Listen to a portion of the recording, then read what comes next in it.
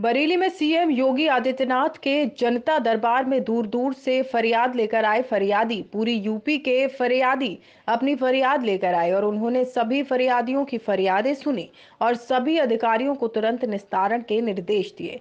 CM ने एक एक करके सबकी सुनी। पुलिस प्रशासन के सभी आला अधिकारी मौजूद रहे। बता दें कि गोरखनाथ मंदिर में जनता दर्शन लगा।